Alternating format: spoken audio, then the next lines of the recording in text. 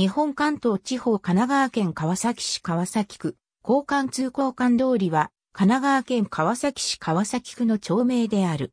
住居表示に関する法律に基づく住居表示が実施され、1から5丁目が設けられている。面積は418,936.48平方メートル。郵便番号は210-0852。日本交換の職工の通勤の道が設けられたことから名付けられた。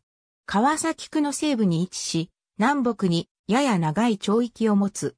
東は浜町1.2丁目、北は大島上町、追分町、西は田島町、小田久市、南は南渡田町に隣接する。道路名称としての交換通りは、川崎駅東口から扇町方面に伸びる新川通りの追分交差点で南に分かれ、浜川崎駅方面へ伸びる街路である。通りの西側が1.3丁目、東側が2丁目。3丁目から市電通りを挟んだ南西側が4丁目となり、さらに産業道路を挟んだ南側が5丁目となる。1から4丁目には住宅が多く、交換通り、市電通り沿いには商店も立ち並ぶ。一丁目北部に日本交換病院、二丁目に川崎区役所田島支所、三丁目には川崎渡田郵便局がある。五丁目には中小の工場、住宅のほか川崎鶴見臨港バス浜川崎、営業所、JR 浜川崎駅の南部支線ホーム、変電所などが所在する。交換通りには、交換病院前、交換通り二丁目、臨港中学校前の停留所があり、川崎駅前からの臨港バスが利用できる。市電通りの交換通り三丁目バス停も、川崎駅前からの臨港バス、川崎市営バスが発着する。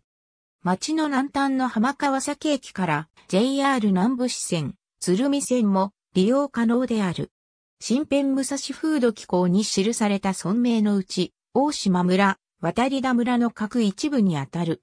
1889年4月1日、町村制の施行により、渡田村、大島村及び周辺の村が合併して、羊郡田島村が成立した。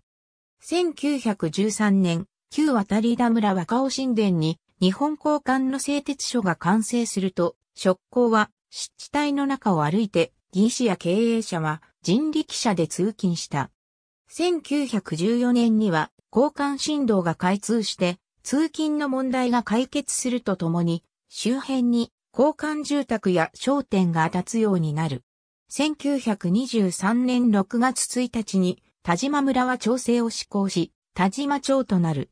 1927年4月には田島町が川崎市に編入された。1937年に日本交換病院会員、交換通の町名がついたのは1938年で、当初は1から3丁目が設けられた。1972年4月1日には、川崎市が政令指定都市に移行したことにより、川崎市川崎区交換通りとなる。1973年の住居表示実施の際には、下の表のように複雑な町域の再編成が行われた。